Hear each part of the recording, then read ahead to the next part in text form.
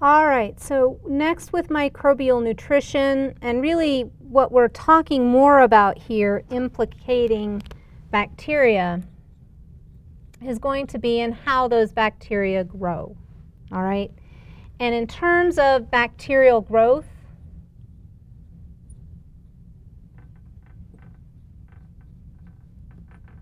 those bacteria divide by, um, goodness, started with the wrong letter,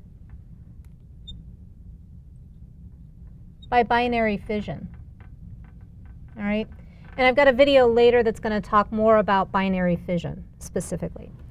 But what affects the ability of bacteria to grow are a lot of environmental factors. All right? Number one in that is temperature. All right? Bacteria are going to have an optimum temperature where they'll grow. If you're taking microbiology lab, that optimum temperature tends to be right around 36, 37 degrees Celsius, all right, which is about body temperature, all right? And in terms of that, we've got some different classifications with temperature, all right, and the bacteria, okay? They can be These are the ones I, I always call these the crazy ones. These are the um, psycho, psychrophiles. They're not really crazy, but these are going to be the bacteria that do best in cold environments. So their optimum growth is going to happen at temperatures that are typically at or below freezing. So if you've ever been skiing and you see um, some kind of red or pink in and along the snow, that's a type of red algae. And that actually blooms in the cold, all right? It needs that cold environment in order to grow. That's why you see the pink on the snow, but you won't see it in the summer if you go to those same areas because those bacteria um, become dormant, essentially. They aren't able to grow in the warmer temperatures, all right? The second one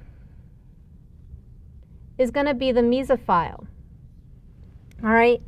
And in terms of that, I'm going to call this body temp. Your book is going to have a range in there, and that range is fine. That's normal. All right? The mesophiles, these typically are the pathogens that can infect our bodies. Most pathogens are mesophiles. They grow really well at body temperature, so that body temperature tends to range in and around 36 to 37 degrees Celsius, which is what you're growing the bacteria at in lab, okay? Now, not all the bacteria you're growing in lab are pathogens. There are a number of bacteria that grow within our body, like E. coli, that's part of our normal flora. It's also a mesophile. It grows best at essentially body temperature, all right? Um, and then we've got bacteria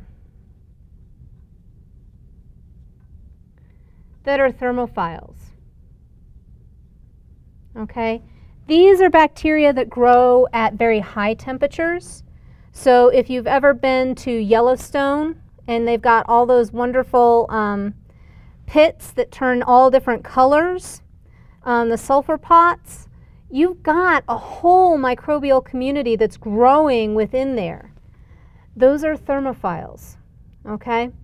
And in terms of that, one thermophile I always like to kind of bring to your attention um, because this has been used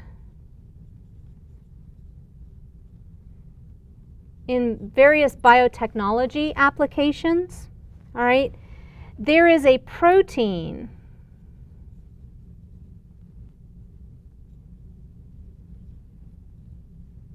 called Taq polymerase.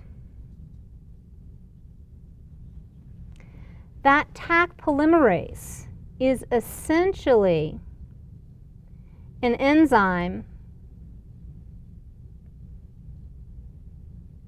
that will replicate DNA.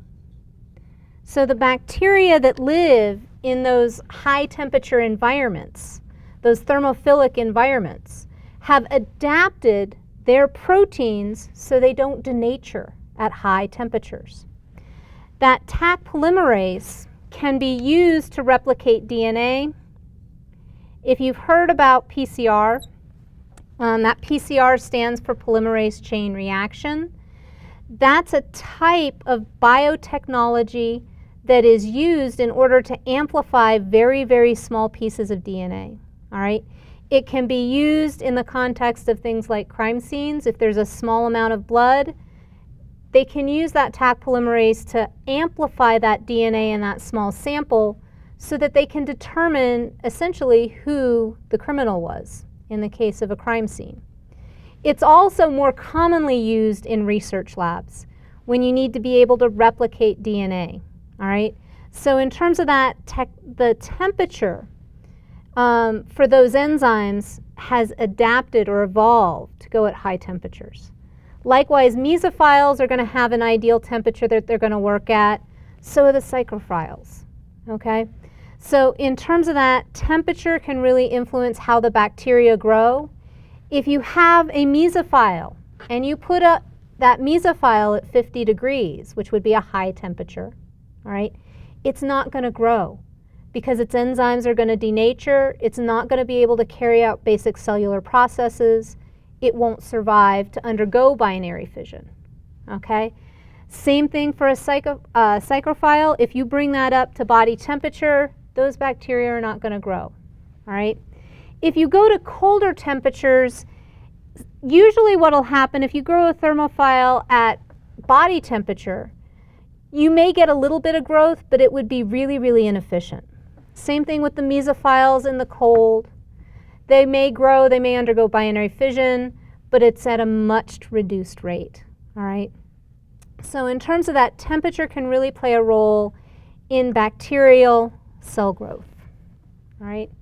Next, I'm going to ad address some of the other um, environmental factors on this list. Um, so stay,